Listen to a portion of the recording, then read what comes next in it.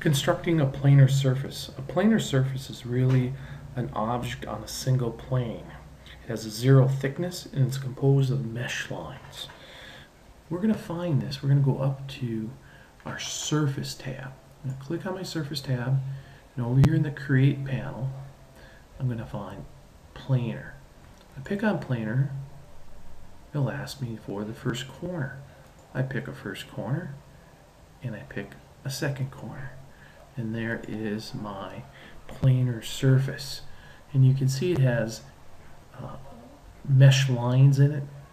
And now if I go up the planar surface and I pick on the object option now it says select objects. Now I can pick various objects. I'm going to pick these objects. Here's these four objects.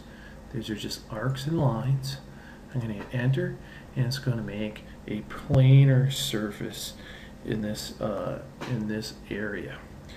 And planar surfaces are nice. It's not a solid, uh, but it can be converted into a solid. Um, and we can use things like extrude these things to make them into a solid. So they're really handy. Um, so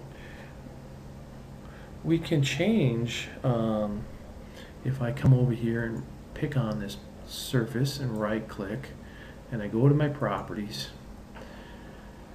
you can see that in this case that it's the surface type is planar.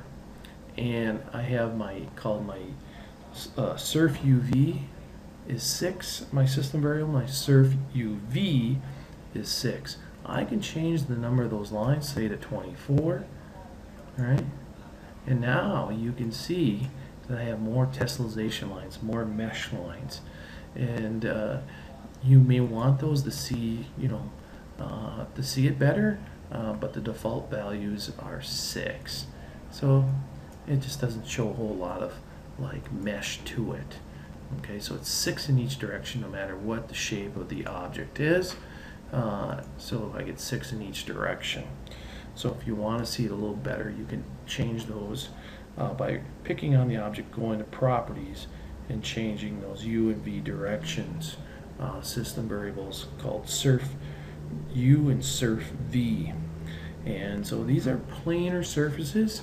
Uh, we can come back essentially and extrude these things and make them into 3D objects.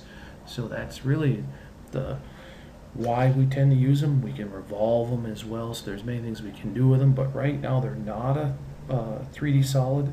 They are a surface. Okay, so remember they are a surface, not a solid.